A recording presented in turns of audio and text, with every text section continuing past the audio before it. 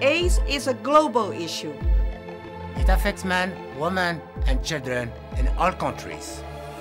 World leaders have pledged to get 15 million people on antiretroviral medicines by 2015. WHO help countries meet the target.